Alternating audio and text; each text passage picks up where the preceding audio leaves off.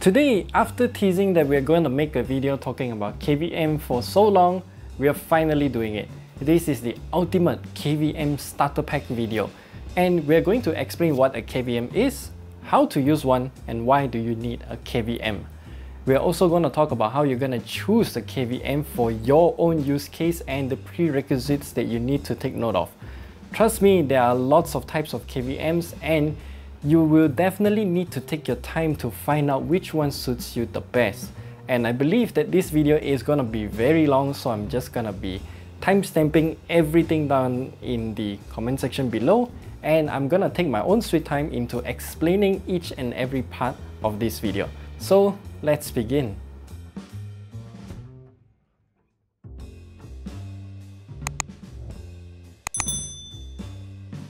Starting off, we need to talk about keyboard, video, and mouse. If we string those words together and abbreviate them, then it becomes KVM.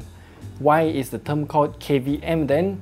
Well, in short, in data centers in the past, there are racks of servers and within each of those rack of servers, there are like many computers.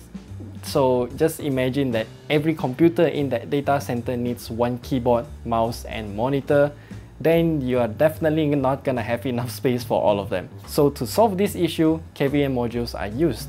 They consolidate all computers into a single set of keyboard, video, or monitor in this case, and mouse. Of course, you will still have to plug a cable for your display, PS2 for your keyboard and mouse. Remember, this is back in the days before USB keyboard and mouse were mainstream and you have to plug each of them to the KVM module. And yes, your cable management is still gonna be hell because it looks like Medusa had a bad hair day, but that's better than not having a KVM module. And that is the basic idea of a KVM. But then KVM modules transition from data center servers into offices. There are some companies that require their employees to use more than just one computer, so it's handy for them to have a KVM module so that, you know, it serves that purpose. It's the same basic idea just in a different form factor in a different place. Then KVM modules morph into something with a fancier design like a dock for your laptop. Yes, there are some laptop docks that connect via a single Thunderbolt cable from the KVM to the laptop and it provides video signal, monitor, USB ports for keyboard, mouse and everything else that you want to plug in and some even come with SD card reader, audio jack for your external speakers and even Ethernet port for MAC address pass-through for security purposes. Yeah, that, that's the best way to put it. And most of the time, that single cable will also provide charge to your laptop as well. For example, this KVM module that we're showing on the screen here technically has all of them and you can also switch between like two computers or three of them. So yes, these kind of products also exist.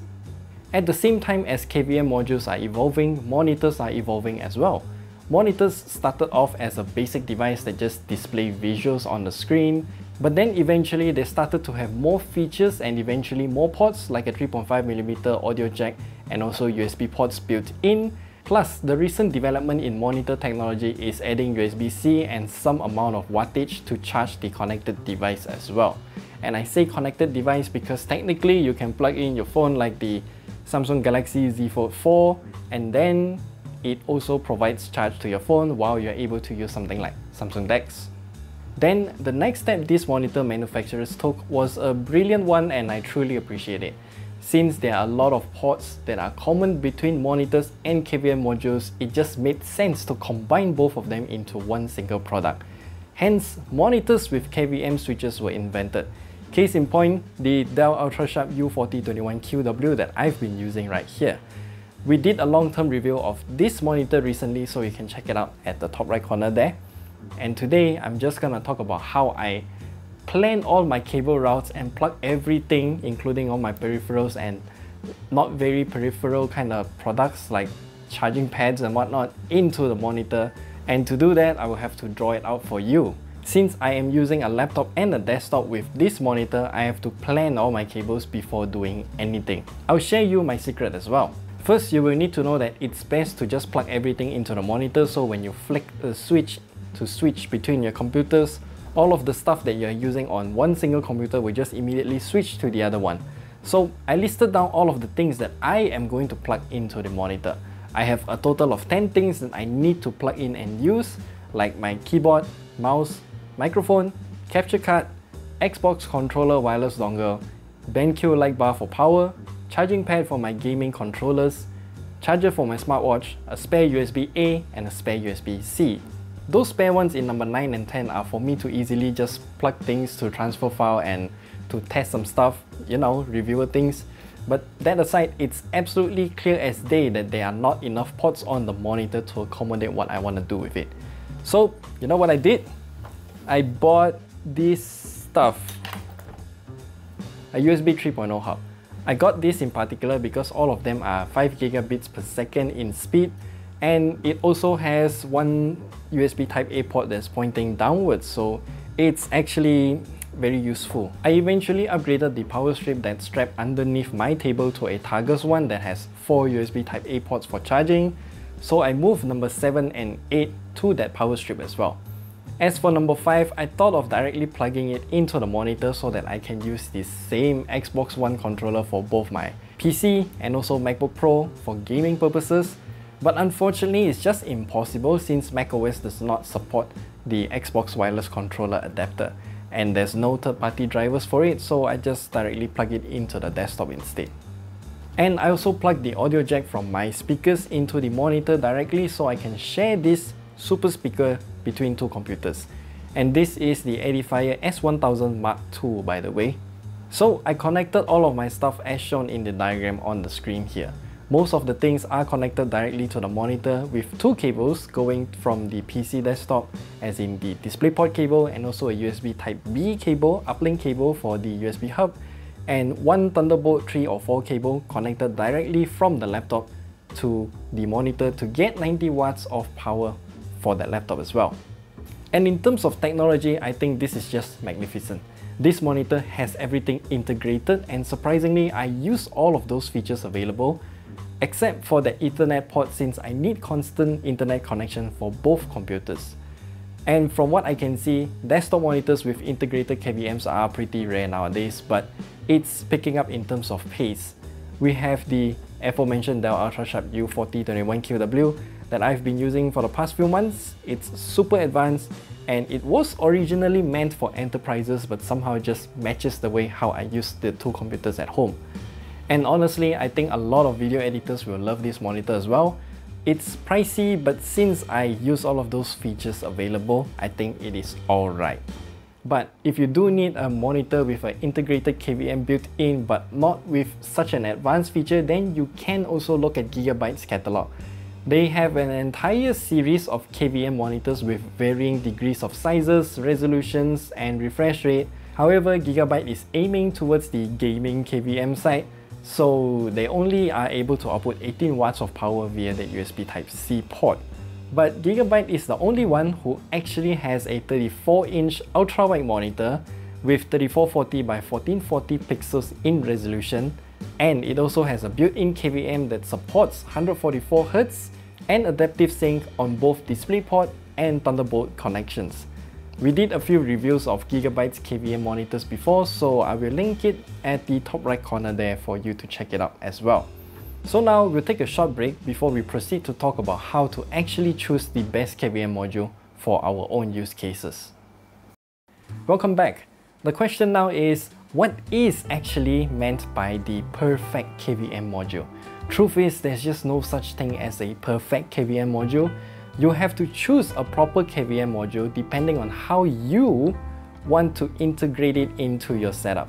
However, in the sea of KVM modules, how do you even start to look for a KVM module? Well, to make it easy for you, I created a list of FAQs frequently asked questions when it comes to deciding which KVM module you want to buy for your setup. So what you need to do is ask yourself these 10 questions. Number 1. Do you need video over USB Type-C and do you need to charge your laptop or not? Number 2. Do you need multi-monitor support?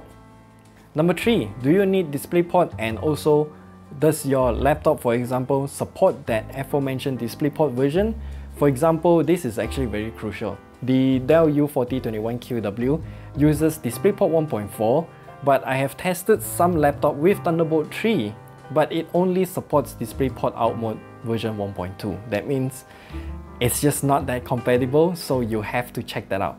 For whatever reason, laptop manufacturers do not write what type of DisplayPort out mode version that their laptop has, even though it's just all USB Type-C or Thunderbolt. You have to confirm. You have to double confirm, triple check. If not, then you're just wasting money. Number 4. What's the maximum refresh rate do you need for your monitors? Number 5. Do you need audio output over the KVM module?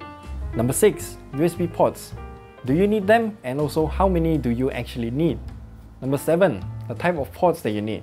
USB-A or USB-C? Number 8.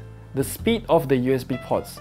Do you need just USB 2 or USB 3? And also, do you need it in 5 gigabits per second or 10 gigabits per second or the newer ones are like what 40 gigabits, 80 gigabits per second, so you need to check that as well.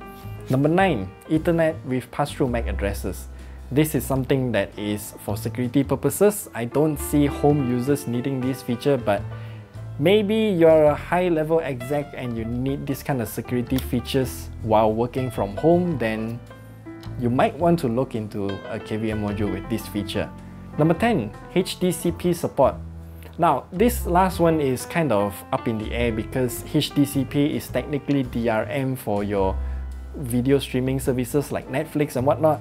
So if your monitor doesn't support HDCP, then you cannot watch Netflix in high resolution. As yeah, I think that's it. I don't quite remember the specifics, but HDCP is actually very important. So with all of those 10 questions answered, I have to admit that I have not found the perfect KVM module that supports all of the points listed above.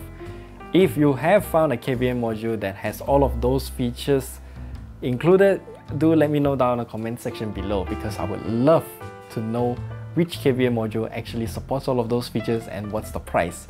So for KVMs that meets the criteria number 2, 3 and 4, they are kinda extremely rare. That's all I'm going to say because most KVM modules are only supporting up to 60Hz only. There is also a specific variant of KVMs called KVMP which is made specifically for points 6, 7 and 8. The P here stands for peripherals and it is made to support to be you know connected by a bunch of stuff.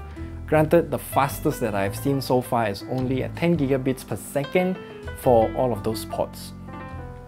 The one that suits my use case the most actually is this one.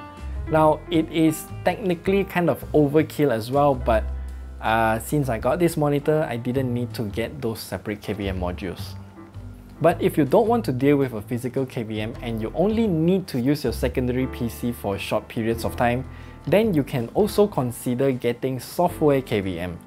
Yes, they exist. There are a bunch of software solutions available today I think all of them are paid solutions and obviously you won't get a lot of benefits of a physical KVM and you need a stable and solid connection in your local area network for it to work properly.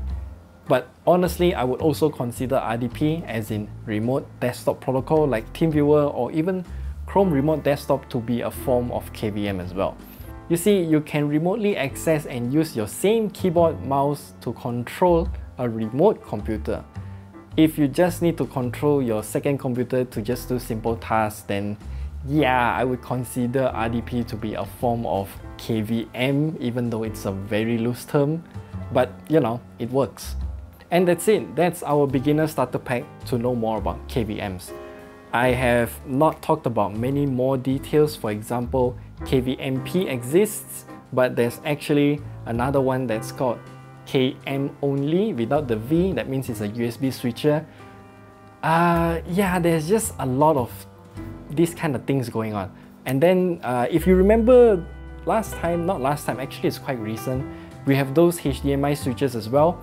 Technically, they are a form of KVM but without the keyboard and mouse, so it's just a V that's how it works. You can integrate more features into the module to switch between two host devices or you can remove all of those features as well and leave just a HDMI switcher, USB switcher or whatever else. So I hope you learned something. This video is kind of complicated. It has a lot of technicalities in it but I hope you understand this video and if you have any questions, do leave them down in the comment section below.